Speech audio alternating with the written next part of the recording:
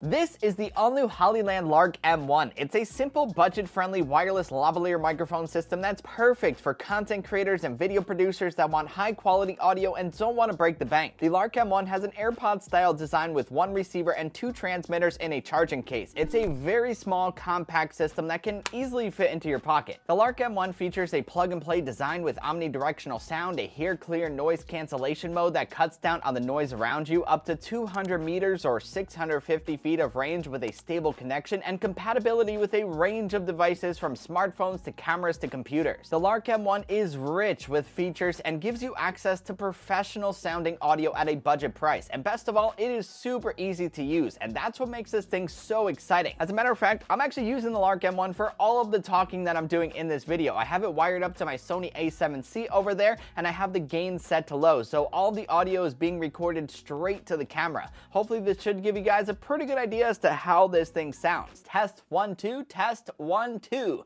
How does this sound? The Lark M1, I'm using it right now. So to rewind a bit to the unboxing, in the box with the Hollyland Lark M1, you'll find a very nice fabric gray carrying case for the system and all of the included accessories. Inside that case, you'll find the Lark M1 itself with those two transmitters along with the receiver in the charging case. The system is mostly made of plastic, but it feels solid and very well made. You'll also find some fuzzy windscreens for the transmitters that will help on windy days, a TRS patch cable for cameras, a TRRS patch cable for smartphones, a USB-C charging cable, and of course manuals and documentation. The Lark M1 is a nicely designed microphone system that's sleek, super lightweight, and very reminiscent of AirPods, you know, with the charging case and all of that. This kind of style works really well for wireless microphone systems like this. Its small design also makes it perfect to use with a wide variety of different devices, from smartphones to action cameras to even regular cameras without getting in the way and adding weight to your rig. It just clips right onto the cold shoe and you're good to go. As far as sound quality goes, the Lark M1 sounds very nice. It uses the LC3 codec to deliver an enhanced sampling rate of 48 kilohertz or 16-bit. Voices are bright and clear with a good amount of depth and detail. It also has three preset volumes built in with high, medium, and low. With no display, it's kind of tough to see what preset is being used, so you're going to have to monitor your audio levels on your camera. In addition to this, the Lark M1 has two modes, a mono mode and a stereo mode, which are indicated by blue and green lights on the receiver. Most of the time, you're going to be using the mono mode unless you want your audio separated into left and right channels. I also noticed with some cameras like the Insta360 One RS, you're only going to be able to use mono mode to record external audio, so your device will also be a factor in how you can record with this thing. In addition to great sound quality, the Lark M1 also comes with excellent battery life. You'll get about 8 hours out of each transmitter and 8 hours out of the receiver. Add in the charging case and you can get up to 20 hours of total runtime on a single charge. That is pretty impressive for such a small system. Battery life is one thing that I never had an issue with. It's something that you're not going to have to worry much about, especially since each little device has a USB-C port for external power. The Lark M1 is always there and ready to go when you need it, and that's really what matters most at the end of the day when you're filming. So now that we have all of that squared away, I think it's time we do something a little bit different like test both the microphones together, test the range, use different devices, and all of that fun stuff. Sound good? Let's get out there and do it. Hello everybody, we're out here. Hello. There's Webs. I'm here. She's here.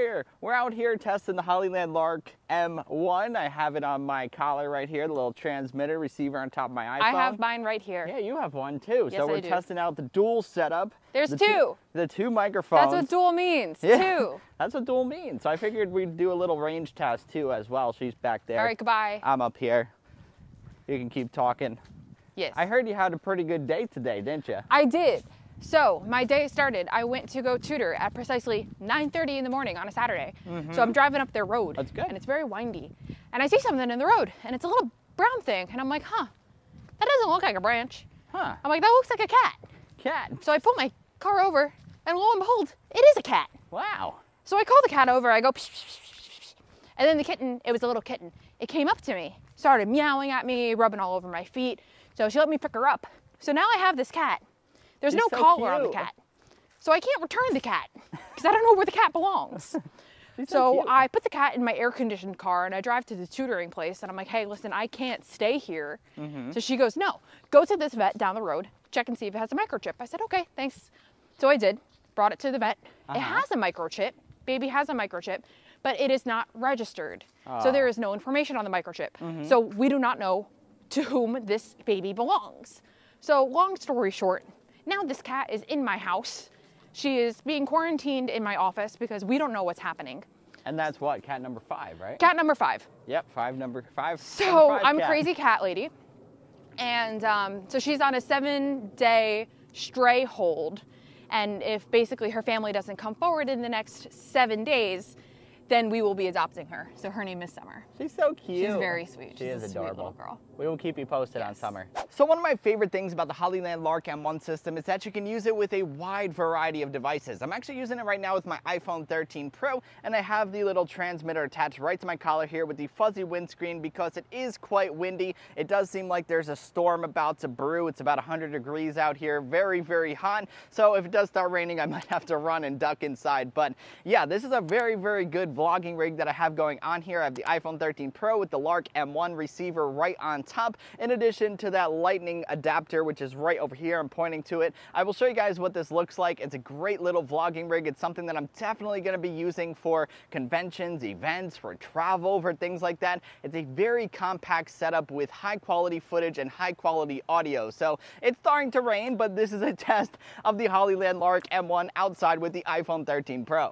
At the end of the day, the Hollyland Lark M1 is a fantastic, easy to use microphone system that's gonna greatly benefit any content creator or video producer on a budget. This system is small, compact, and easy to use with excellent battery life, range, compatibility, and reliability. It's a versatile microphone system that will help you out in a wide variety of scenarios no matter what it is that you're shooting. The design of the Lark M1 is really great, I like it, but I'm going to admit I'm not the biggest fan of the big branding on the transmitters because it always ends up being in the shot like it is right now. It's not something to knock it for though because this is something that is happening with all of these wireless lav systems nowadays from Rode to DJI to Hollyland here. Luckily, if it really bugs you or gets in the way, you can cover it with electrical tape or something like that. I also do wish that there was a bit more flexibility here with the controls. You can only adjust the gain to high, medium, or low and nothing in between. If you want a little more flexibility and control in your audio, this may not be the wireless microphone system for you. However, if you want something that's simple, affordable, easy to use, and just works when you need it, the Lark M1 here should definitely be at the top of your list. As you guys have been hearing throughout this entire video, this thing sounds great. It sounds really, really good. It performs beautifully, has great battery life, and best of all, it is affordable.